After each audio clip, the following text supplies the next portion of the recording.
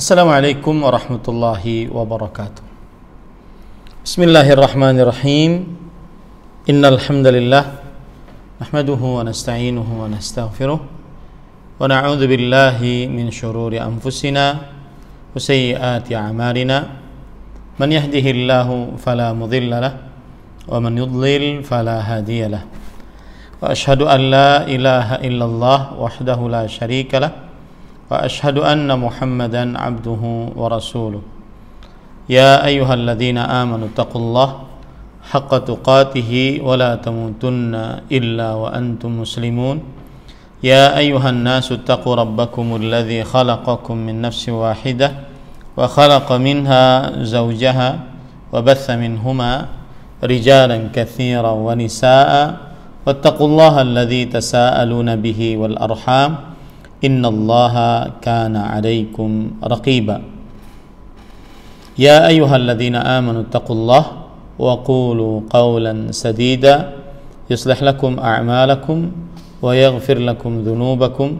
ومن يطع الله ورسوله فقد فاز فوزا عظيما. أما بعد. فإن أصدق الحديث كتاب الله وأحسن الهدي هدي محمد صلى الله عليه وعلى آله وسلم وشر الأمور محدثاتها وكل محدثة بدعة وكل بدعة ضلالة وكل ضلالة في النار Alhamdulillah kita bersyukur pada Allah Subhanahu wa taala pada hari ini hari eh, Senin malam Selasa 2 4 Safar 1442 Hijriah kita dimudahkan oleh Allah Subhanahu wa taala untuk duduk bersama mengkaji kembali kitab Bulughul Maram min Adillatil Ahkam yang ditulis oleh Al-Hafidh Abdul Fadl Ahmad bin Ali bin Hajar Al-Asqalani rahimahullahu taala. Salawat dan salam semoga selalu Allah berikan kepada Nabi kita Muhammad sallallahu alaihi wa ala alihi wasallam pada keluarga beliau, para sahabat serta orang-orang yang mengikuti beliau sampai hari kiamat kelak. Dengan nama-nama Allah yang husna dan sifat-sifat yang ulia, kita berdoa Allahumma inna nas'aluka ilman nafi'an wa rizqan tayyiban wa amalan mutaqabbala. Wahai Allah sesungguhnya kami memohon kepada Engkau ilmu yang bermanfaat, rezeki yang baik dan amal yang diterima. Allahumma amin. Ahibati hafizakumullah kaum muslimin yang saya cintai karena Allah semoga Allah Subhanahu wa taala selalu merahmati kita. Pada kesempatan kali ini kita membahas tentang uh, masih di dalam Kitabul Jami' dan masih di dalam babul birri wassilah. Bab kebaikan dan menyambung tali silaturahim. Sebentar ya, ini uh,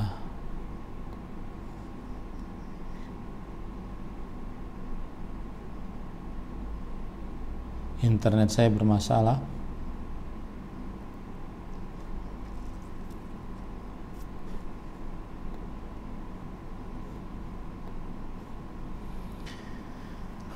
Taib.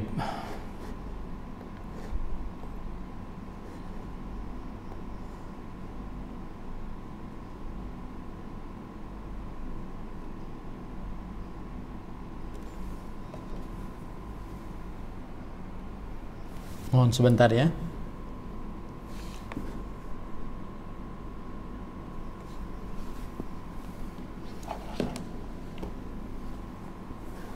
Kita harus mencari hotspot yang bagus untuk live Facebook dan YouTube.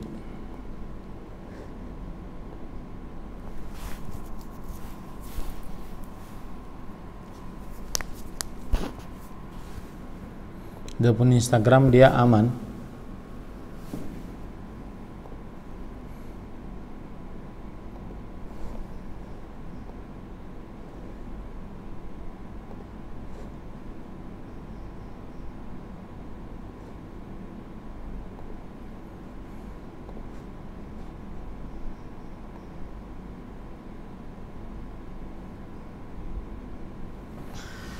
Taib.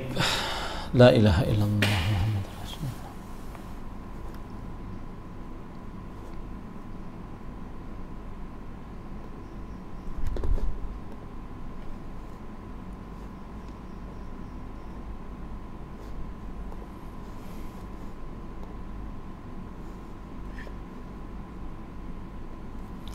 Kita lanjutkan Ahibati hafizakumullah taala. Mungkin nanti yang nonton lewat YouTube atau Facebook saya akan upload ulang melalui uh, rekaman di Instagram. Taib, kita pada pertemuan sebelumnya sudah membaca hadis yang ke 1501 yang berbunyi la yadkhul jannata qati'. Tidak masuk ke dalam surga seorang yang memutuskan maksudnya memutuskan tali silaturahim. Kita sekarang membaca hadis yang ke 100 1502. Coba. Kita baca wa anil Mughirah bin Sa'id radhiyallahu an an Rasulillah sallallahu alaihi wa ala alihi wasallam qala Inna Allah harrama alaikum uquqal ummahat wa wa'dal banat wa man'an wahad wa kariha lakum qila wa qala wa kathratu su'al wa idha'atal mal muttafaqun alaih dari Al-Mughirah bin Syu'bah radhiyallahu an bahwa Rasulullah sallallahu alaihi wasallam bersabda sesungguhnya Allah telah mengharamkan kepada kalian berbuat durhaka kepada ibu ngubur bayi wanita hidup-hidup bakhil dan suka meminta minta dan Allah membenci orang yang suka kasak kusuk banyak bertanya dan orang yang suka menghambur-hamburkan harta muttafaq alaih. Ahibati hafizakumullah kita ambilkan syarah dari kitab Subulus Salam. Beliau mengatakan yaitu Imam As-San'ani rahimahullah taala mengatakan bahwa ketika Rasul sallallahu alaihi wasallam bersabda Sesungguhnya Allah telah mengharamkan kepada kalian berbuat durhaka kepada ibu. Dan ibu di sini maksudnya adalah kata beliau al-ummahat jamu ummah Lughatan fil um. Wala tutlaqu illa ala man yaqil bi khilafi um. Fa innaha ta'um.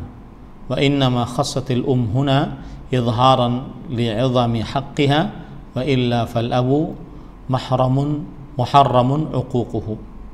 Artinya, ketika Rasulullah SAW bersabda, sesungguhnya Allah telah mengharamkan atas kalian berbuat durhaka kepada ummahat. Ummahat ini adalah jamak daripada ummah. Dan dia di dalam bahasa yaitu al-um. Maksudnya ibu. Dan kata um tidak disebutkan kecuali atas orang yang berakal beda dengan ummun. Beda dengan ummun. Maka sesungguhnya dia adalah uh, umum. Dan dikhususkan penyebutan ibu durhaka kepada ibu ini untuk memperlihatkan agungnya kedudukan ibu tersebut. Meskipun sebenarnya bapak juga termasuk diharamkan durhaka kepadanya. Jadi bukan berarti ketika sesungguhnya Allah mengharamkan atas kalian durhaka kepada ibu bukan berarti tidak haram durhaka kepada bapak. Akan tetapi durhaka kepada ibu lebih besar karena hak ibu lebih besar dibandingkan hak bapak untuk dibakti. Hak ibu lebih besar dibandingkan hak bapak untuk dibakti.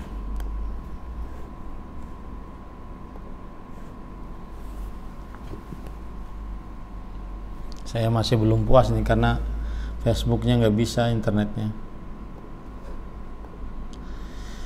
Allah musta'an. Kasihan yang nonton.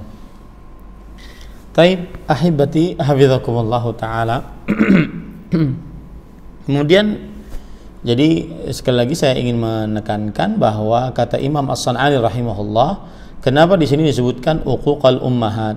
Allah mengharamkan durhaka kepada ibu Apakah bapak ada bedanya? Maka jawabannya tidak ada beda. Dua-duanya tetap diharamkan untuk berdurhaka kepada mereka berdua. Tetapi dikhususkan penyebutan ibu li'idhami haqqiha karena besarnya hak ibu lebih besar dibandingkan hak bapak.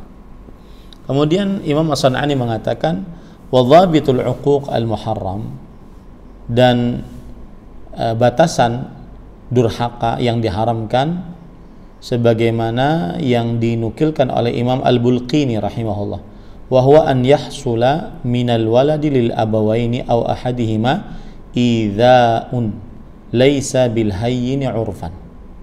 Yang artinya eh, terjadi dari seorang anak kepada kedua orang tua atau salah satu dari keduanya idza yaitu pemberian rasa sakit yang tidak se, yang tidak ringan secara adat kebiasaan.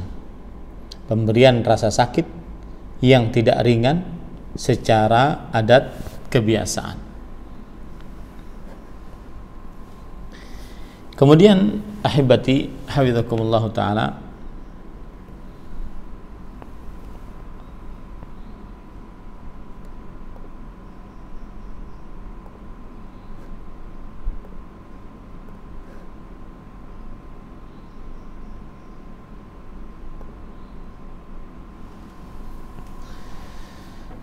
ilaha illallah. Taib. Kemudian kata Imam As-San'ani rahimahullah, "Fayakhruju min hadha ma idza hasala min al-abawaini amrun aw nahyun fa khalafahuma bima la yu'addu fil 'urfi mukhalafatuhu 'uquqan." Maka keluar dari hal ini adalah apabila ada perintah atau larangan dari kedua orang tua, maka kemudian sang anak menyelisihinya menyelisih perintah atau larangan tersebut. Kemudian di adat kebiasaan di daerah tersebut menyelisihi perintah dan larangan orang tua tersebut tidak dianggap sebagai durhaka. Fala yakunu dzalika uquqan. Maka ini tidak dianggap sebagai uquq, tidak dianggap sebagai kedurhakaan. Ya, tidak dianggap sebagai kedurhakaan.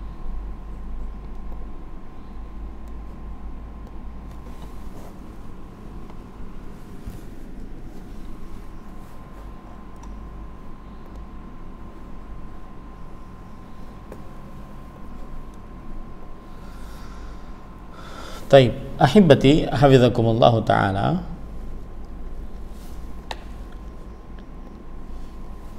Jadi kalau seandainya ada orang menyelisih perintah bapaknya, menyelisih perintah ibunya, kemudian di adat kebiasaan di tempat itu tidak dianggap sebagai sebuah kedurhakaan, maka pada saat itu itu bukan sebuah kedurhakaan itu bukan sebuah kedurhakaan.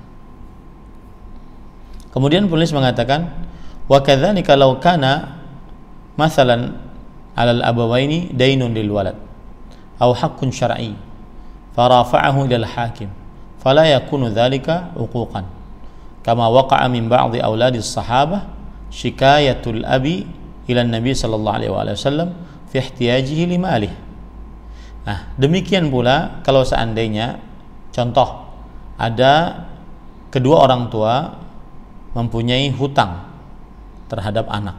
Orang tua mempunyai hutang terhadap anak. Ya, perhatikan, orang tua mempunyai hutang terhadap anak.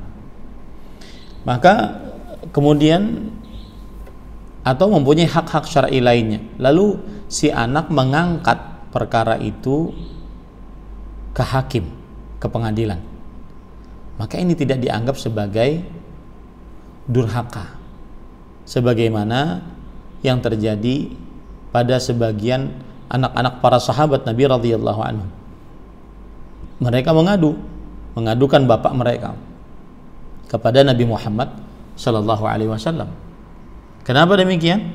Karena bapaknya mempunyai hutang kepada anaknya dan anaknya sedang memerlukan uang tersebut falam ya'uddan nabiyyu sallallahu alaihi wasallam shikayatahu uquqan Maka Nabi Muhammad SAW tidak menganggap pengaduan anak tentang hutang bapaknya kepada anaknya itu disebut sebagai durhaka. Tidak, tidak dianggap oleh Nabi Muhammad Shallallahu Alaihi Wasallam.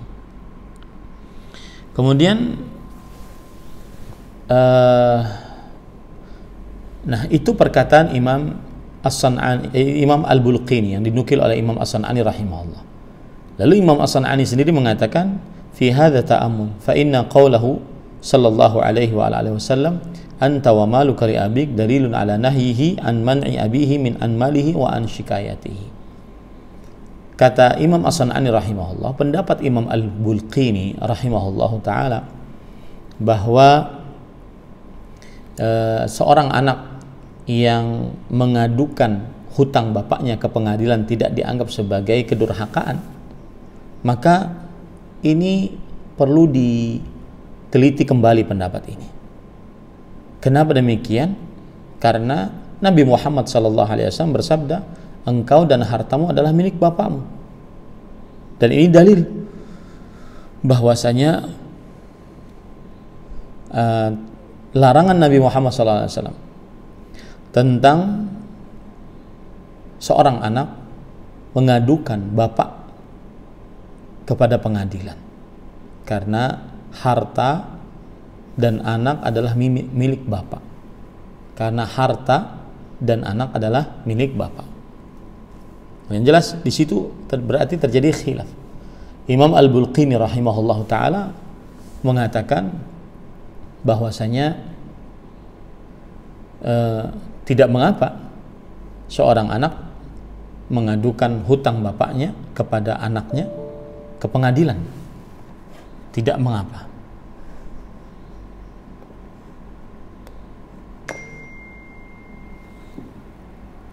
Sedangkan seorang eh, sedangkan Imam As-San'ani rahimahullahu taala mengatakan bahwa ini tercela seorang anak mengadukan hutang bapaknya kepada anaknya ke pengadilan.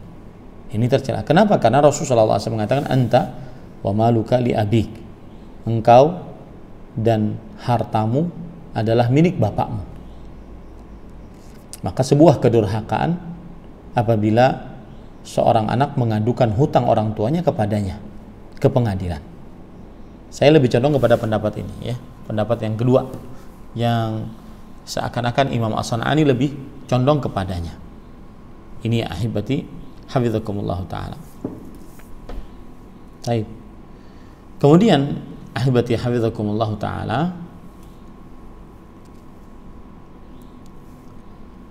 ثم قال صاحب الضابط فعل هذا العقوق أن يؤذي الولد أحد أبويه بما لو فعله مع غير أبويه كان محرما nah ini batasan dari kedurhakaan.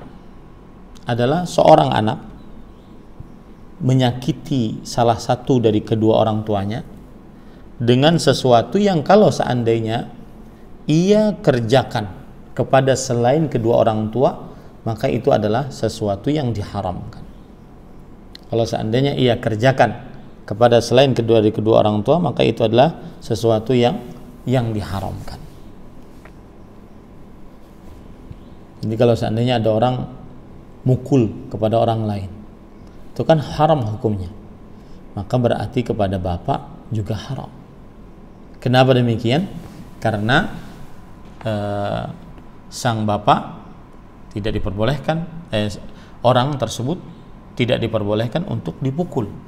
Maka begitu juga bapak tidak boleh diperbolehkan untuk dipukul.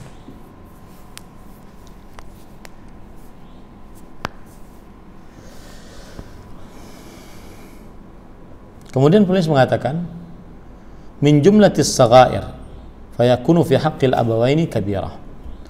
Artinya apabila ada orang melakukan perbuatan haram kepada orang lain dan itu termasuk dosa kecil, apabila itu dilakukan kepada kedua orang tua, maka itu termasuk daripada dosa besar.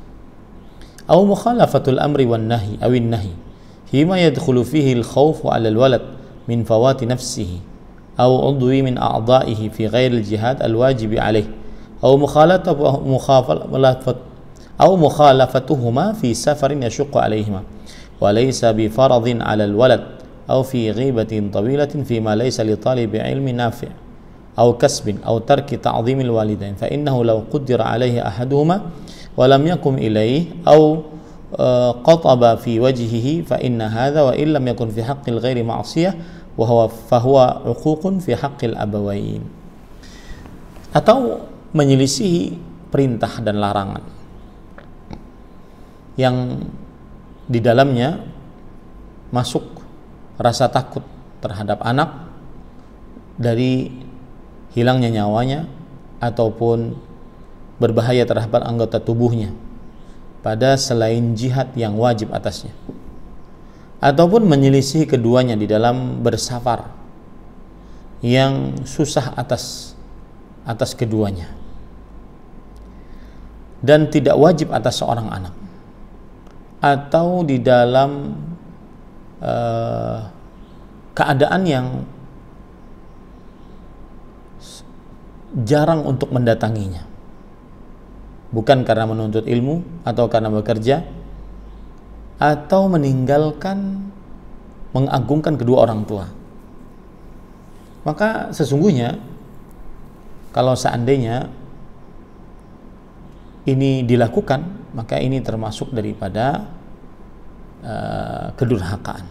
Jadi di sini Imam As-Sanani rahimahullah taala menjelaskan kepada kita bahwasanya termasuk daripada kedurhakaan adalah seseorang anak menyelisih perintah atau larangan yang diperintahkan atau dilarang oleh orang tua. Kemudian seseorang menyelisihi uh, perintah kedua orang tuanya di dalam bersafar. Maksudnya adalah apabila safar tersebut dilarang oleh kedua orang tuanya dan berat kedua orang tuanya untuk melepaskan anaknya, maka apabila sang anak tetap bersafar, ini berarti durhaka. Begitu juga apabila sang anak jarang menemui orang tua. Ini perhatikan. Apabila sang anak jarang menemui orang tua uh, yang bukan untuk menuntut ilmu atau bukan bekerja ini termasuk kedurhakaan atau juga sang anak tidak menghormati, tidak mengagungkan orang tua. Maka ini juga termasuk kedurhakaan. Atau juga sang anak mendahulukan uh, dirinya dibandingkan kedua orang tuanya ini juga kedurhakaan. Atau juga sang anak tidak menyambut kedua orang tuanya saat orang tuanya datang. Ini juga kedurhakaan. Atau juga sang anak melengos di hadapan orang tuanya. Ini juga kedurhakaan. Nah, meskipun itu dilakukan pada orang lain selain orang tua itu bukan maksiat, tetapi pada hak orang tua dia tetap kedurhakaan. Paham ya? Ini. Dan ini inti pendalilannya. Yaitu bab menyambung hubungan rahim. Termasuk daripada e, hal yang diharamkan adalah seseorang memutuskan hubungan rahim dengan orang tua. Durhaka kepada kedua orang tua. Di antaranya adalah sering tidak mengunjungi orang tua ini kedurhakaan. Sering tidak uh, berkomunikasi dengan orang tua. Ini kedurhakaan. Kemudian penulis mengatakan di sini mengubur bayi wanita hidup-hidup. Ini termasuk hal yang diharamkan oleh Allah Subhanahu wa taala mengubur bayi wanita hidup-hidup.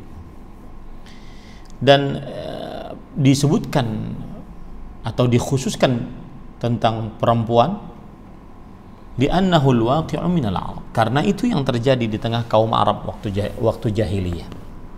Fa innahum kanu yaf'aluna fi dzalika fil jahiliyah. Mereka melakukan itu di masa jahiliyah.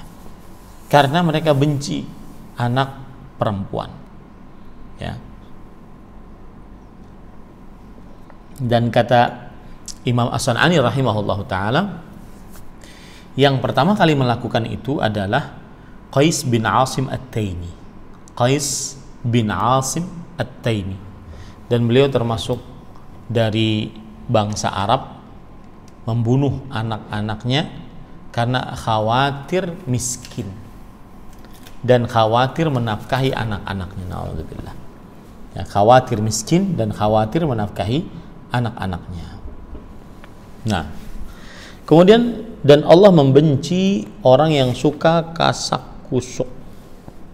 Pada eh, di sini disebutkan waman an wahatin dan suka meminta. Ya suka meminta. Kata Imam Ibnu, Katsir rahim eh, Imam As-Sanani rahimahullah al muradu man'u ma amara Allah an la yumna.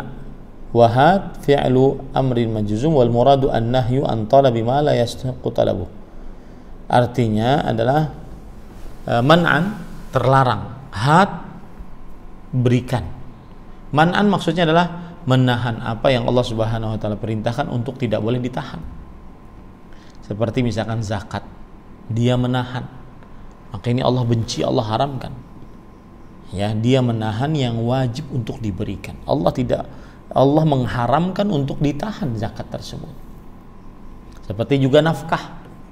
Allah Subhanahu wa taala mengharamkan untuk menahan nafkah yaitu sedekah yang diberikan kepada orang-orang yang di bawah tanggung jawab kita. Nah, ini tidak diperbolehkan. Itu yang dimaksud dengan menahan. Ya, kalau ditebuka terjemahannya di sini suka meminta. Sebenarnya bukan begitu maksudnya. Man'an wahad Allah mengharamkan man'an artinya menahan. Wahad memberi. Menahan maksudnya adalah menahan apa yang Allah Subhanahu wa taala larang untuk ditahan. Yaitu zakat, infak, ini larang untuk ditahan. Maka Allah mengharamkan atas itu apabila ada orang mengharamkan apa yang Allah Subhanahu wa taala perintahkan untuk tidak diharamkan. Wahad dan memberikan maksudnya adalah larangan untuk meminta sesuatu yang tidak berhak untuk diminta. Meminta seperti orang kaya raya tetapi dia suka minta-minta, ini haram hukumnya. Orang berkecukupan tetapi dia suka meminta-minta ini haram hukumnya. Nah, kemudian dan Allah membenci orang yang suka kasak kusuk. Orang yang suka kasak kusuk. Di sini terjemahnya kasak kusuknya. Kalau bahasa Arabnya qila wa qala. Desas desus. Eh, katanya begini, eh katanya begini, eh katanya begini. Nah, itu maksudnya. Ya, itu maksudnya.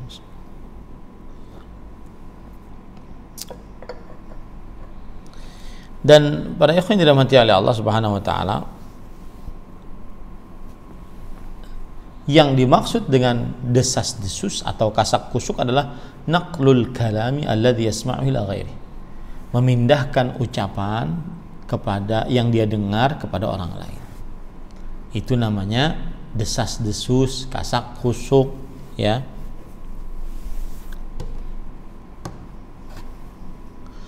Eh, kata Imam As-San'ani rahimahullah kenapa tidak boleh melakukan itu? Kasakusuk desas-desus li'annahu minal istighal bima la ya'nil mutakallim.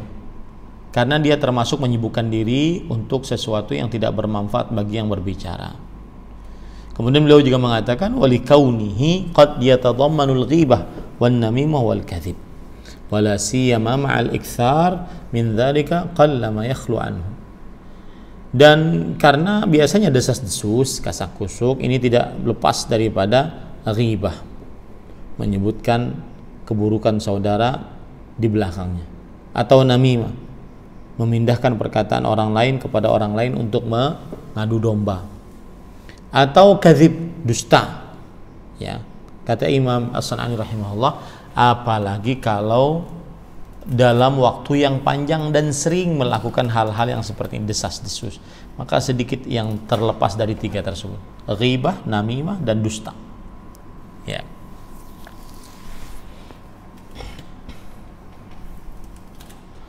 Kemudian ahibati hafizakumullah taala dan banyak bertanya. Ya banyak bertanya. Di sini kata Imam As-San'ani rahimahullahu taala as-su'alu lil mal au anil mushkilat minal masail au majmu'ul amrain wa huwa aula.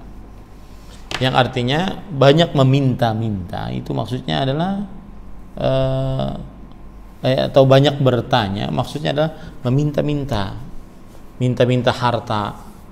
Ataupun banyak bertanya tentang beberapa problematika permasalahan-permasalahan atau dua-duanya. Jadi kalau banyak meminta atau banyak bertanya ya dua-duanya tercela. Meminta-minta untuk harta padahal dia memilikinya. Yang kedua banyak bertanya sesuatu yang tidak bermanfaat untuknya.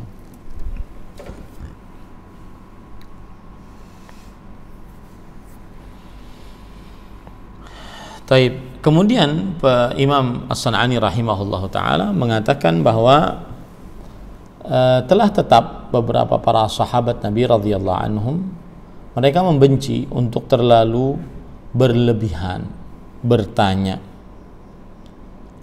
untuk sesuatu perkara yang uh, mustahil terjadinya. Ya secara kebiasaan. Ataupun jarang terjadinya secara kebiasaan. Contoh misalkan ada orang bertanya e, bagaimana kalau kita sampai ke bulan kemudian sholat kita menghadap ke mana nah ini ter pertanyaan Eh, terlalu berlebihan. Bismillah. Karena jarang terjadi, ya, ataupun karena secara kebiasaan manusia mustahil terjadi, ya mustahil terjadi. Saya tidak berbicara tentang kebulannya saja, tetapi apa saja yang uh, mustahil terjadi secara kebiasaan manusia ataupun jarang terjadi maka Eh, jangan terlalu banyak bertanya tentangnya. Karena ini berarti tanattu. Ini terlalu berlebih-lebihan ya terlalu berlebih-lebihan. Kemudian dan orang yang suka menghambur-hamburkan harta. Kata Imam Sunani rahimahullah taala al-mutabadir minal idha'ah ma lam yakun li ghadadin dini yang artinya yang termasuk daripada menghambur-hamburkan harta adalah yang bukan tujuan untuk meletakkan harta tersebut di dalam perihal agama dan juga di dalam perihal duniawi. Ini termasuk daripada menghambur-hamburkan harta, yaitu meletakkan sesuatu harta tersebut untuk sesuatu yang bukan tujuan agama dan juga bahkan bukan tujuan untuk dunia. Waqila huwal israfu fil infaq. Ada yang mengatakan bahwasanya dia adalah al-israf fil infak yang artinya berlebih-lebihan di dalam bersedekah ya ada lagi yang mengatakan bahwa yang dimaksud berlebih-lebihan dalam bersedekah di dalam perkara yang haram maka wallahu alam termasuk daripada menghambur-hamburkan harta adalah bersedekah di dalam uh, sesuatu yang tidak diizinkan oleh syariat untuk bersedekah di dalamnya. Maka ini yang disebut dengan menghambur-hamburkan harta.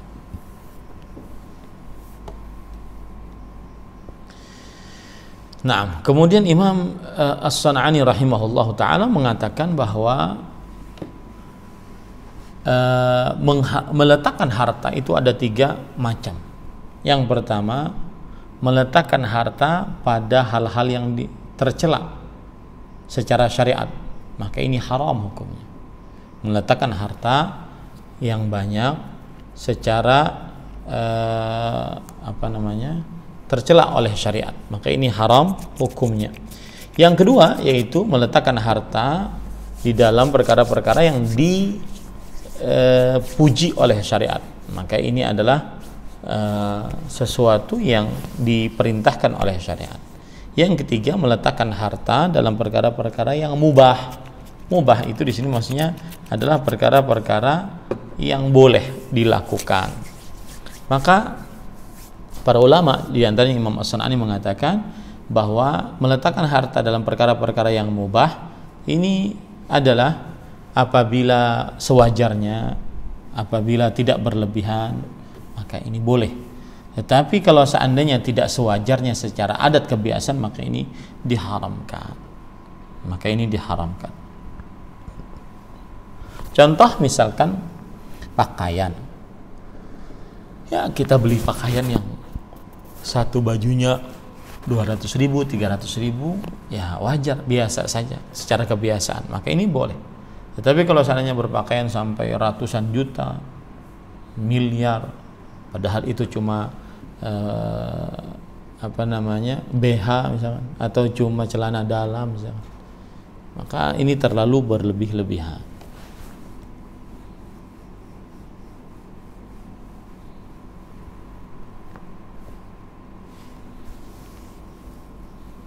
Nah. Taib, kita ambil di dalam kitab Tawdihul Ahkam ala Bulughil Maram. Di sini penulis Fadilatul Syekh Abdullah bin Abdullah Abdurrahman Al-Bassam mengatakan bahwa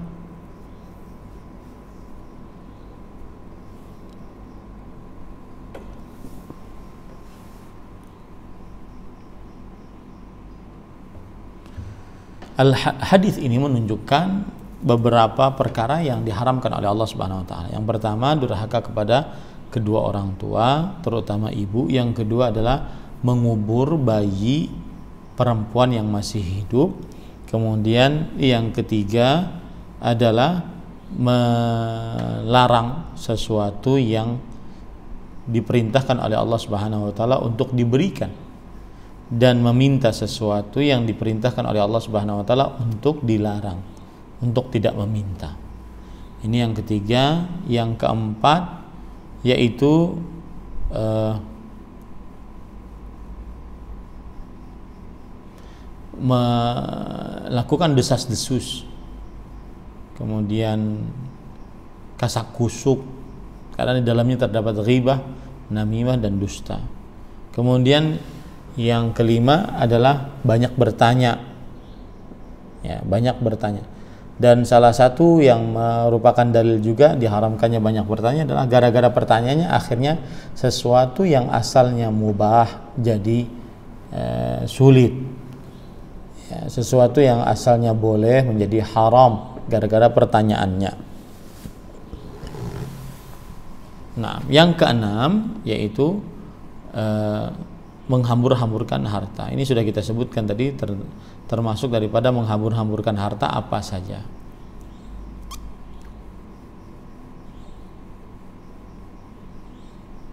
Nah,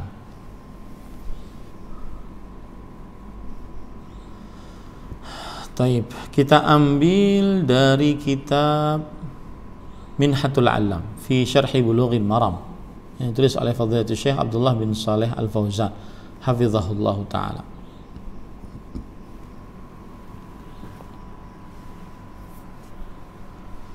Kata beliau, batasan daripada durhaka adalah sesuatu yang menyakiti kedua orang tua, baik berupa ucapan ataupun perbuatan yang menurut kebiasaan itu bukan sesuatu yang ringan. Sesuatu yang menyakiti kedua orang tua, baik itu berupa ucapan ataupun perbuatan. Yang menurut kebiasaan itu adalah termasuk daripada uh, perkara yang tidak ringan, perkara yang tidak ringan, apalagi sampai dilakukan kepada kedua orang tua.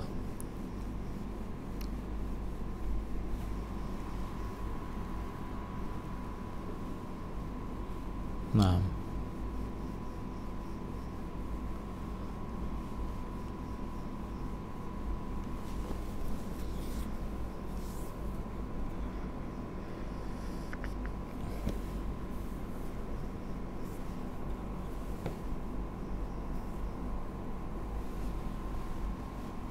Taib. Yang lainnya sama-sama semua, nggak ada yang berbeda ataupun tidak ada tambahan-tambahannya. Cukup eh, pada kesempatan kali ini saya ingin membacakan apa namanya DM DM deh. Ya, kita jawab DM DM aja ya. Yang sampai kepada saya beberapa DM saya akan bacakan yang paling terbaru nih. Saya bacakan ya. Jadi yang ingin uh, apa namanya bertanya maka silahkan DM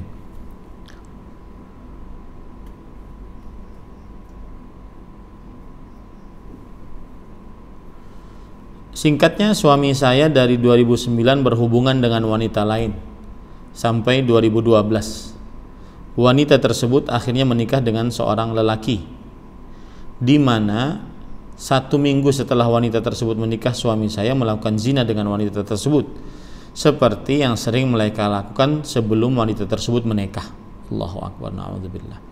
Sehingga akhirnya wanita tersebut hamil dan melahirkan anak yang menurut suami saya mungkin anak suami saya karena memang mirip sekali dengan anak saya. Nauzubillah. Alhamdulillah berbagai usaha sudah saya lakukan untuk mengingatkan dan mengajak suami kembali ke jalan yang benar hingga beliau mengenal manhaj salaf ini.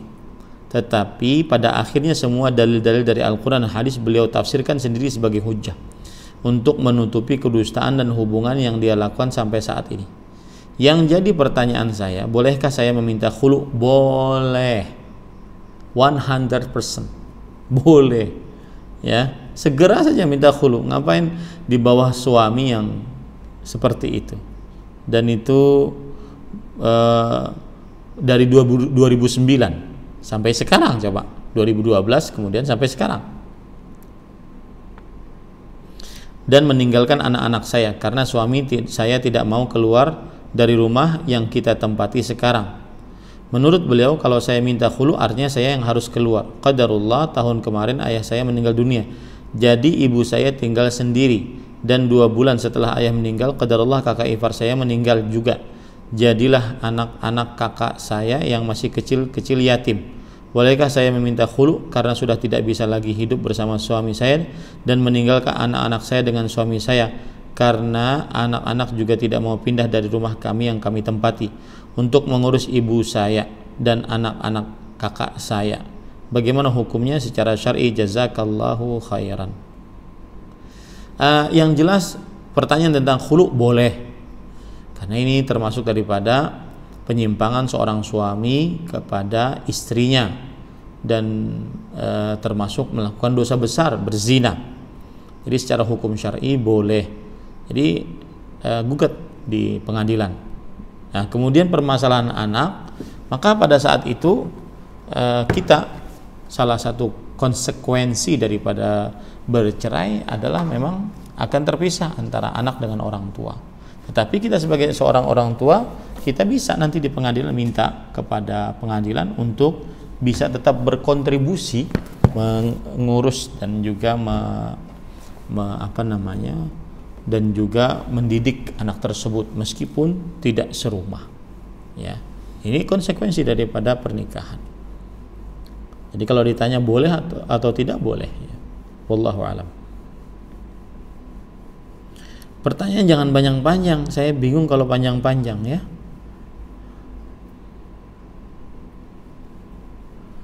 Saya cari yang pendek-pendek saja ya.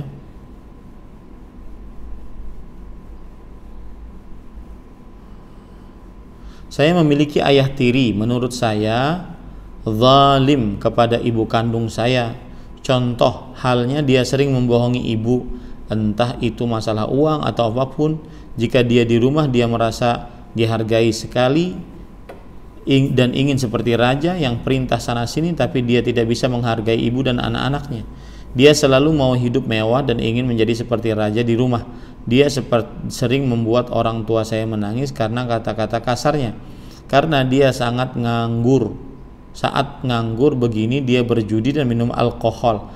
Pulang saya pergi seenak dia, dia ingin terus bergantung pada kami sebagai anak tiri sedangkan dia ibu sudah merasa malu karena selalu meminta kami. Dia banyak kok yang tawari pekerjaan tapi dia memilih terus mau yang gampang dan banyak uangnya.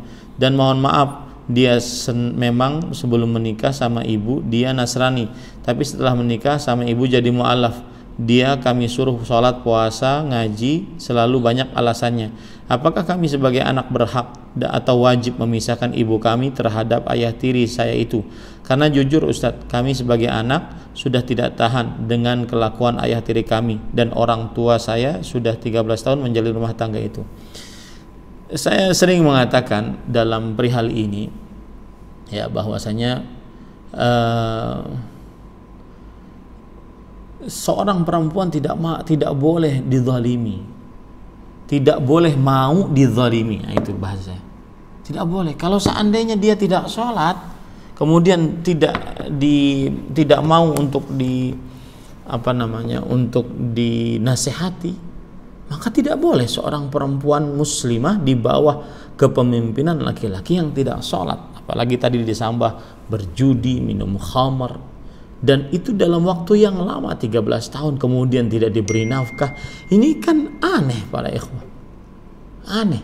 Jadi perempuan kadang-kadang uh, mau-maunya dizalimi. Ini tidak benar. Ya ini tidak benar. Maka jawabannya boleh para anaknya meminta kepada ibu agar menggugat cerai suaminya agar tidak dizalimi oleh suaminya dan juga tidak boleh di bawah laki-laki yang tidak sholat. Seorang wanita muslimah diharamkan untuk bersuamikan laki-laki yang tidak sholat. Wallahu alam. Assalamualaikum Ustadz jika ada seorang suami yang mengatakan seperti ini apakah sudah jatuh talaknya? Kalau sudah jatuh apakah masih harus melayani suaminya mengatakan aku dah siapkan barangku kita cerai saja maka jawabannya kalau seandainya perkataan itu memang benar dari suami maka cerai itu itu adalah perkataan jelas dari sang suami. Jadi lafat cerai ada yang jelas, ada yang dengan bahasa kiasan, ada yang dengan bahasa isyarat. Ini jelas, maka berarti jatuh cerainya. Kalau begitu, suruh suaminya untuk mengurus pengadilan bahwasanya dia sudah menjatuhkan talak kepada istrinya. Wallahu a'lam.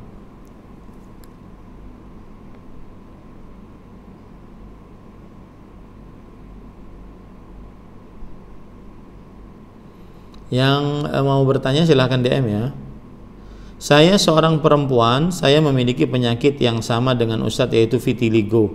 Vitiligo yang saya idap ini dari SMA ayah saya pun Allah rahimahullah punya penyakit yang sama. Akhir-akhir ini bercak putih ini semakin tersebar di area tubuh saya dan ada yang mengatakan kalau ini adalah penyakit belang. Saya ingin bertanya Ustadz, apakah vitiligo ini sama dengan penyakit belang yang ada pada zaman Rasulullah SAW dan bagaimana cara saya agar saya tidak minder dan malu akan penyakit ini mengingat saya juga masih muda dan belum menikah. Uh, ini mungkin yang bertanya adalah perempuan mungkin ya, maka saya nasihatkan yang pertama apakah vitiligo sama dengan baros Allahu alam. Yang jelas dia adalah uh, kulit belang, dua-duanya sama, kulit yang belang ya dan e, saya nasihatkan yang pertama yaitu bersabar atas takdir Allah Subhanahu wa taala. Bersabar atas takdir Allah. Karena Allah berfirman, "Wa basyirus sabirin alladzina idza asabatuhum musibah qalu inna lillah wa inna ilaihi raji'un." Orang-orang yang apabila tertimpa musibah maka mereka mengucapkan inna lillah wa inna ilaihi raji'un dan berikanlah kabar gembira kepada orang-orang yang sabar. Maka bersabarlah ini kiat yang pertama bersabarlah dengan uh, tidak mengucapkan perkataan-perkataan buruk terutama tentang Allah Subhanahu wa taala. Bersabarlah menjaga perasaan agar tidak terlalu sering menggerutu dengan takdir Allah Subhanahu wa taala. Bersabarlah tidak melakukan perbuatan-perbuatan mungkar dengan tangan, kaki, kepala dan semisalnya. Kemudian yang kedua yaitu berdoa kepada Allah agar diberikan berkah dari penyakit ini berdoa kepada Allah agar diberikan berkah dari penyakit ini. Karena kita tidak tahu mana yang lebih baik bagi kita. Asa an takrahu syai'an wa yaj'allahu fihi khairan katsira. Allah Subhanahu wa taala mungkin menjadikan kamu membenci sesuatu akan tetapi Allah menjadikan di dalam yang kamu benci itu kebaikan yang sangat banyak. Kemudian yang ketiga adalah uh, berdoa kepada Allah agar dimudahkan untuk mendapatkan jodoh yang mau menerima dan ini uh, uh, makanya jujur ini curhat sedikit ya. Saya itu sangat sayang kepada istri saya karena beliau satu-satunya perempuan yang mau menerima. Ya meskipun uh, waktu itu saya baru melamar sekali alhamdulillah diterima. Yang mau menerima dalam keadaan kulit belang. Karena jarang perempuan menerima yang seperti itu. Dan bahkan setelah beberapa tahun menikah bertambah banyak. Akhirnya menjadi seperti ini. Dan alhamdulillah ala kulli hal. Kemudian yang ketiga yang keempat adalah kita harus ingat betul innallaha la yanzuru ila suwarikum wala ila amwalikum walakin yanzuru ila qulubikum wa amalikum. Allah tidak melihat kepada bentuk rupa kalian, harta kalian, tetapi Allah melihat kepada hati yaitu iman dan amal apalagi saya laki-laki kan saya lebih condong kepada pendapat wajib untuk tidak isbal. Celana di atas dua mata kaki. Waktu itu kaki belang-belang. Maka eh mau apa dikata? Ya kita harus mengerjakan perintah Allah Subhanahu wa taala. Dan pada waktu itu uh, saya membaca hadis Rasulullah SAW ada seorang sahabat Nabi yang kakinya X gitu ya. Kakinya X. Jadi lututnya itu nempel gitu Kemudian dia isbal untuk menutupi kakinya tersebut. Maka kata Rasulullah SAW, kullu khalqillah ya hasan. Setiap ciptaan Allah adalah baik. Ya, maka pada saat itu akhirnya beliau mengangkat kedua, eh, mengangkat baju beliau dari dua mata kaki beliau. Maka yang pertama tadi adalah bersabar atas ketentuan Allah 50 ribu tahun sebelum penciptaan langit dan bumi. Yang kedua berdoa agar diberikan berkah atas penyakit ini. Bukan hanya kesembuhan ya tetapi berkah atas penyakit ini. Karena mungkin Allah Subhanahu wa taala menginginkan dari yang warnanya asalnya coklat kemudian menjadi putih ya. Dan jujur saja ini putih semuanya. Nggak ada yang nggak ada yang tersisa. Makanya saya katakan berdoalah kepada Allah agar diberikan berkah dari penyakit ini. Kemudian yang ketiga yaitu uh, tetaplah berbaik sangka kepada Allah karena kita tidak tahu mana yang lebih baik untuk kita. Karena mungkin kita membenci sesuatu tetapi Allah menjadikan yang dalam, yang kita benci itu uh, sesuatu yang baik ya. Bahkan kebaikannya banyak. Yang keempat yaitu uh, hendaknya seseorang uh, apa tadi saya katakan ya itu itu itulah yang ketiga ya. Ya itu tiga itu. Wallahu alam. Saya tinggal di Jakarta semua masjid di sekitar tempat tinggal saya semua safnya renggang dan berjarak Ustaz. Saya meyakini Islam ini sempurna. Dan tidak ada contoh dari Rasulullah SAW para sahabat salat renggang. Seperti itu pada masa wabah. Mereka selalu rapat saf aku takut sholat saya tidak saya takut sholat saya tidak diterima Allah jika saya ikut sholat dengan cara baru seperti itu. Saya bingung Ustaz karena menghadapan dengan dua kewajiban. Saya wajib sholat ke masjid sebagai seorang laki-laki dan saya juga diwajibkan meninggalkan perkara-perkara yang baru dalam Islam. Mohon penjelasannya apa yang harus saya lakukan? Apakah saya harus ikut sholat dengan keadaan demikian atau lebih baik saya ganti dengan sholat bersama keluarga di rumah? Maka jawabannya adalah para ikhwan kita harus paham betul bahwasanya Perhatikan ini baik-baik bahwasanya di dalam agama Islam itu ada keadaan-keadaan yang darurat, yang terpaksa. Maka kita harus mengambil keadaan-keadaan terpaksa tersebut berbeda dengan keadaan yang tidak terpaksa. Ya, seperti misalkan Rasulullah SAW memberikan isyarat dalam hal ini. Jika sholatlah dalam keadaan berdiri, jika tidak sanggup maka sholat dalam keadaan duduk, jika tidak sanggup maka sholat dalam keadaan berbaring. Ini berarti beliau mengerjakan perintah Allah fattaqullah mastata'tum. Bertakwalah kepada Allah sesuai dengan kemampuan kalian. Rasulullah SAW juga bersabda idza amartukum bi amrin fa'tu jika aku perintahkan kepada kalian tentang sesuatu maka kerjakan sesuai dengan kemampuan kalian. Jadi di dalam beragama ma ja'ala alaikum fid dini min haraj.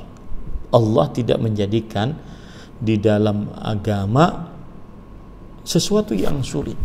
Kalau seandainya kita sekarang sholat dalam keadaan pandemi COVID-19 dan terbukti bahwasanya berjarak dekat, tidak memakai masker, kemudian tidak mencuci tangan, terbukti dia adalah sangat aktif untuk menyebarkan penyakit COVID-19. maka pada saat itu kita berarti mempunyai uzur dan ini bukan sesuatu. Iya betul dikatakan sesuatu yang baru tetapi dia kita lakukan karena ada keadaan bukan karena berkreasi dalam ibadah. Bukan tetapi karena ada keadaan terpaksa yang mewajibkan kita untuk itu. Dan kadang-kadang perlu diperhatikan bahwa menjaga nyawa itu lebih diutamakan dibandingkan mengerjakan hak-hak Allah Subhanahu wa taala kita diperintahkan untuk merapatkan saf. Itu perintah Rasulullah SAW. Tetapi perintah itu berlaku saat dalam keadaan nyawa tidak terancam. Ketika ada nyawa terancam, maka didahulukan menjaga nyawa dibandingkan merapatkan saf.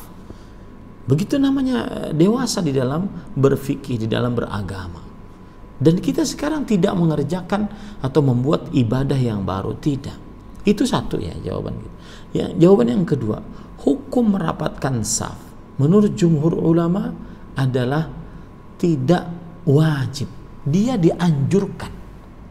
Maka ketika kita katakan dia dianjurkan, berarti gugur dengan hanya ada keperluan. Itu satu. Yang yang ketiga, kalau seandainya dikatakan hukum merapatkan saf itu wajib, maka berarti dia gugur dengan adanya keadaan terpaksa darurat dalam bahasa Arabnya. Paham maksud saya? Jadi para ikhwan yang dirahmati oleh Allah Subhanahu wa taala, yang seperti ini kadang-kadang perlu kedewasaan di dalam berfikih, ya, di dalam berfikih. Wallahu alam. Saya ingin bertanya posisi yang sahih ketika kita salam terhadap orang tua. Apakah membungkuk ataukah seperti apa Ustadz? Maka jawabannya kalau salam maksudnya bersalaman mungkin ya, maka cium tangan diperbolehkan ya dan uh, uh, apa namanya? Kalau seandainya seseorang uh, mencium tangan kemudian menunduk maka tidak mengapa. Yang tidak diperbolehkan itu adalah seperti seseorang melakukan ruku atau sujud kepada kedua orang tua. Wallahu a'lam. Ustaz, bagaimana mengobati pedihnya perceraian karena saya baru bercerai talak tiga dan saya masih sangat mencintai mantan istri saya. Lah, kenapa bercerai? La haula wala quwata illa billah. Lah, kenapa bercerai kalau seandainya saya ma, ma, sangat mencintai istri? Ini kan aneh ya. Wallahu alam. Saya dan suami hijrah 4 atau 5 tahun lalu. Suami seorang tentara Ustadz, waktu ditinggal tugas ternyata suami 2 tahun menjalin cinta dengan istri orang lain. La hawla wala quwata illa billah. Kalau dengan perempuan lain ya dan kemudian dia menikah, maka itu poligami boleh saja. Ini dengan istri orang lain. Meminta maaf saya sudah maafkan, namun diulang sampai empat kalinya tetap berusaha menghubungi wanita itu dan bilang ke saya sudah mempunyai anak dari hubungan itu. Apakah yang harus saya lakukan? Apakah harus saya maafkan lagi? Maka jazakallah barakallahu fik. Wa jazakumullahu khairan barakallahu. Maka jawabannya para ikhwan yang dirahmati oleh Allah. Uh, keputusan ada di tangan istri. Saya akan sebutkan yang wajib dulu baru uh, pilihan yang wajib. Wajib adalah sang istri menasehati suaminya untuk bertobat dari perbuatan zina tersebut. Dan ini haram hukumnya. Berzina dengan istri orang. Berzina dengan perempuan saja itu dosa besar. Keimanan uh, dicabut darinya. Bagaimana kalau sampai berzina dengan istri orang? Ini lebih besar lagi dosanya. Bahkan sampai punya anak anaknya itu nanti bermasalah. Itu dinasabkan ke siapa? Apakah ke suaminya, suami si perempuan ini yang berzina dengan suami Anda, ataukah dinasabkan kepada suami Anda? Maka yang benar adalah dinasabkan kepada suami tersebut. Tidak boleh dinasabkan kepada suami Anda, wahai yang bertanya. Maka saya nasihatkan, ya, agar uh, itu itu kewajiban dinasehati suaminya.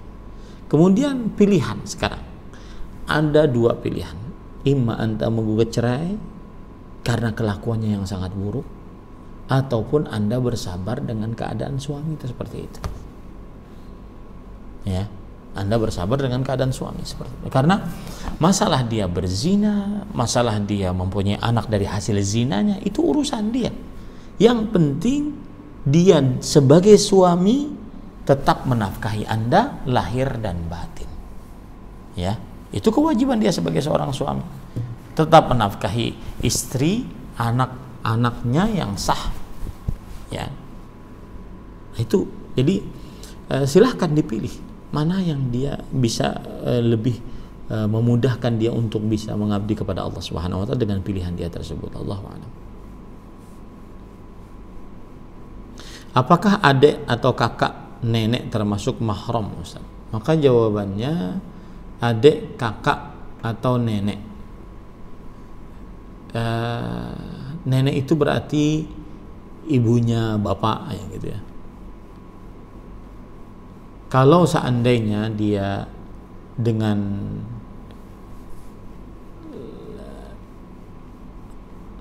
berarti kakak atau adik nenek itu laki-laki yang bertanya ini perempuan gitu ya wallahu alam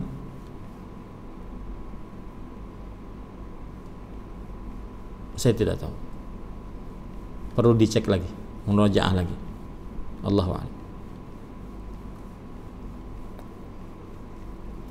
Saya pernah dengar hadis mengenai bayar pajak itu haram. Itu maksudnya pajak apa ya? Kalau pajak bangunan dan kendaraan itu secara pemerintah kita kan wajib bayar. Secara Islam gimana? Maka jawabannya adalah pengambilan pajak yang di dalam hal ini mengambil harta seorang muslim tanpa kebenaran itu haram hukumnya. Kecuali pengambilan pengambilan tersebut bermanfaat untuk eh, kaum muslimin ya untuk rakyat. Maka ada kadang-kadang pajak-pajak yang tidak masuk akal dan tidak ada manfaat yang dirasakan oleh rakyat. Maka ini haram. Karena mengambil harta seorang muslim diharamkan innama amwalukum wa aradakum haramun alaikum ka hurmati yaumikum hadha inna dima'akum wa amwalakum wa a'dharakum haramun ka hurmati yaumikum hadha sesungguhnya uh, apa namanya darah kalian kehormatan kalian harta kalian suci haram untuk diambil. Seperti sucinya hari kalian ini. Nah uh, kalau kita yang bayar itu tadi kan hukumnya bagi yang mengambil. Kalau kita yang membayar maka jawabannya satu uh, boleh tidak bayar asalkan tidak membahayakan diri. Dua boleh membayar sebagian dan tidak bayar sebagian asalkan tidak membahayakan diri sendiri. Tiga boleh uh, tidak boleh untuk memanipulasi data pajak kita karena itu dusta diharamkan ya seperti itu wallahu a'lam Apa hukumnya seorang anak yang membenci ayahnya karena telah menyakiti ibunya? Apakah tindakan anak ini salah? Iya, salah. Yang benar adalah anaknya menasihati bapaknya. Tidak boleh benci kepada orang tua karena itu kedurhakaan. Wallahu a'lam.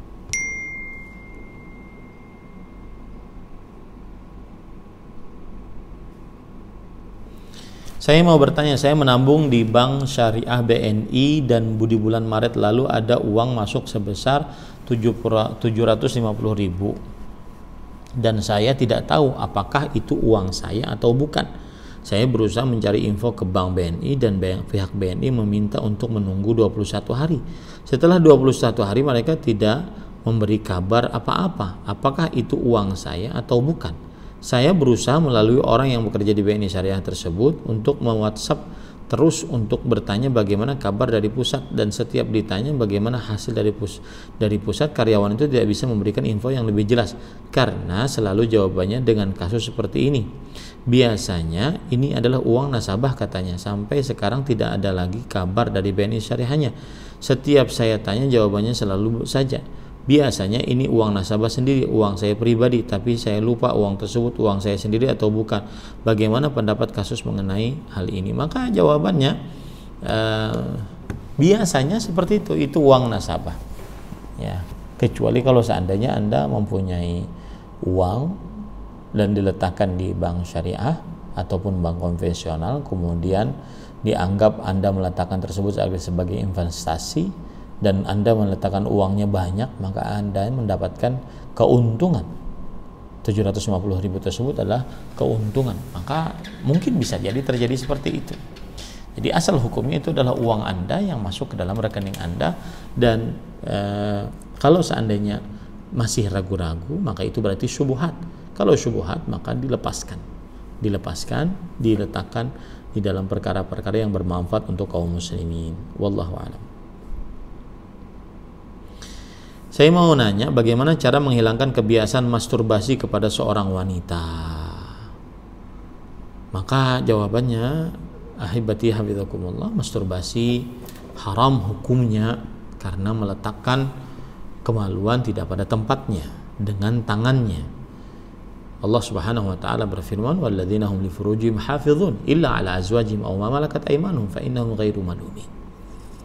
Uh, orang-orang yang meletakkan uh, orang-orang yang menjaga kemaluannya ya kecuali kepada istrinya dan budak-budaknya maka mereka itu tidak tercela faman i'tada ba'da dzalika faula barang siapa yang melampaui akan hal itu maka mereka adalah orang-orang yang tercela.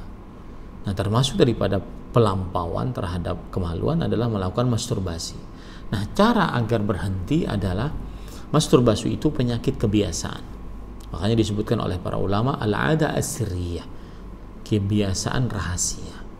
Nah, kalau begitu dia harus rubah dengan kebiasaan lain dan jangan sampai dia rahasia. Saya beri contoh misalkan biasanya dia di kamar sendirian maka pada saat itu dia lebih baik di kamar berdua dengan kawannya yang perempuan bukan dengan kawan laki-laki ya ataupun dengan orang yang dia muliakan sehingga dia malu untuk melakukan itu.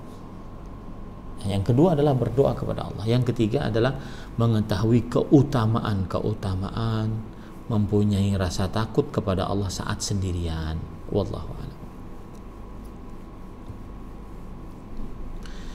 Saat pandemi saya sholat berjamaah berdua dengan istri. Ketika saya jadi imam, saya lupa bacaan surat. Akhirnya saya terus melanjutkan sholat dengan mengganti surat lain. Karena istri merasa tidak khusyuk sholatnya, istri saya meminta membatalkan sholat untuk mengulangi dari awal. Pertanyaannya, saya lanjut sholat teruslah sholatnya atau membatalkan sholatnya saya?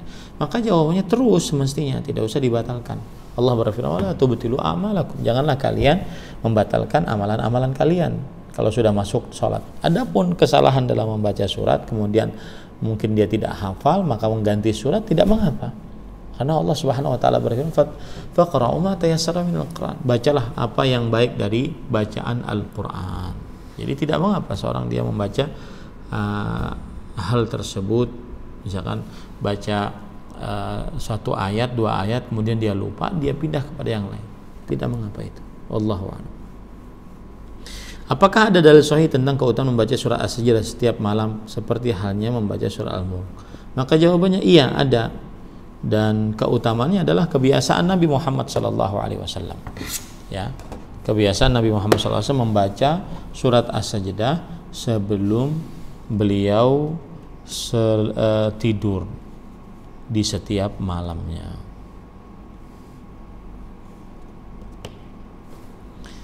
Saya bacakan ya.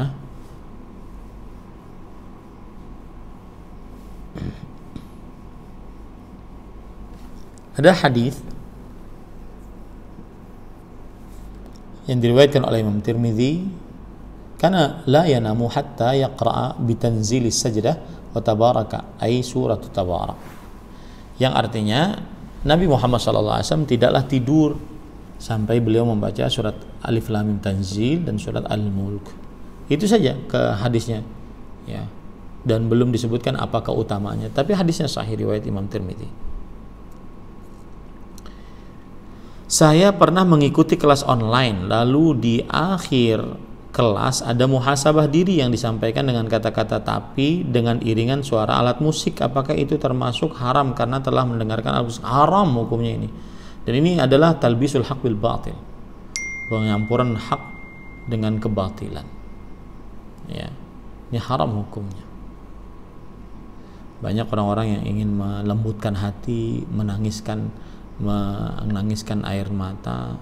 Kemudian dia dengan kata-kata indah diselingi dengan musik-musik yang syahdu. Maka ini tidak benar.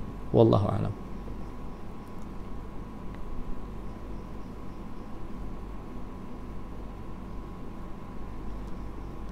Apakah setiap istighfar kita otomatis kita akan mendapatkan ampunan Allah dan saya kurang paham mengenai turunnya pengampunan seperti apa yang dikatakan oleh Imam Al-Basri. Ini uh, para ikhwan yang dirahmati oleh Allah Subhanahu wa taala ada hadis ada perkataan Al Hasan Al Basri perbanyaklah istighfar di rumah-rumah meja-meja makan jalan-jalan pasar-pasar majlis-majlis kalian di mana pun kalian berada karena kalian tidak tahu kapan turunnya pengampunan Allah Subhanahu Wa Taala. Maksudnya turunnya pengampunan Allah adalah Allah Subhanahu Wa Taala mengampuni hamba-hambanya. Dan uh, kita tidak tahu kapan Allah Subhanahu Wa Taala mengampuni hamba-hambanya. Maka ketika kita selalu beristighfar maka pada saat itu kita akan e, mendapatkan ampunan Allah Subhanahu wa taala.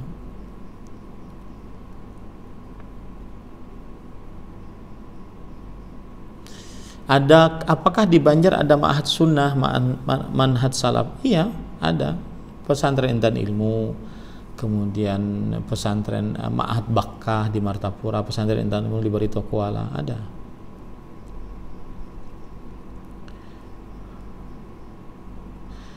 Eh, mohon doanya dari antum Ustadz Insya Allah awal bulan depan istri depan istri saya melahirkan eh, sekalian saya ingin minta saran dari antum beberapa nama yang baik untuk anak laki-laki dan perempuan maka jawabannya saya berdoa dengan nama-nama Allah yang husna dan sifat-sifatnya yang ulia. Semoga kita uh, dimudahkan dalam segala urusan dan istri antum dimudahkan untuk melahirkan anak kedua-duanya sehat, ibunya, anaknya sehat dan diberkahi oleh Allah Subhanahu wa taala. Adapun nama untuk laki-laki saya beri nama Ibrahim itu satu bagus. Nama anak Nabi Muhammad SAW yang kedua namanya adalah Abdullah. Nama anak Nabi Muhammad SAW Allahu alam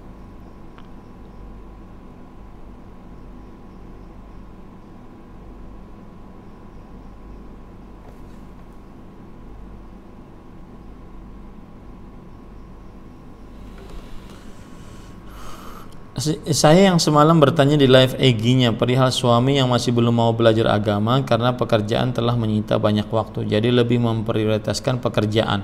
Ketika saya mengingatkan bahwa saya mempunyai hak dididik agama saya, supaya di akhir saya tidak menuntut hak yang belum saya dapat dan kewajiban suami bukan hanya dalam hal biologis dan materi saja, saya selalu menginginkan yang terbaik, berharap taufik hidayah diberikan untuk dia. Tapi seberapa besar pun keinginan saya Allah memberi taufiknya. Saya sudah sampaikan ke beliau jawabannya bila saya di luar sana menemukan yang lebih baik silahkan. Bila mau meninggalkan karena semakin bertambahnya ilmu semakin berubah pola pikirnya. Dulu kita bertemu sama-sama belum hijrah. Ini beberapa kali diucapkan setiap membahas perihal agama atau mengingatkan kekeliruan yang dipertanyakan apakah pengucapan seperti ini termasuk talak yang dikiaskan? Karena bila sudah mengucapkan seperti ini saya tidak berani lagi tidak berani lagi untuk meneruskan pembahasan itu pada saat itu. Maka jawabannya adalah tidak ini tidak termasuk talak. Tetapi termasuk talak dalam keadaan eh, yang apa namanya dalam keadaan yang eh, terkait. Maksudnya kalau ini terjadilah gitu. Tergantung ya. Tapi dia tidak talak langsung. Wallahu alam.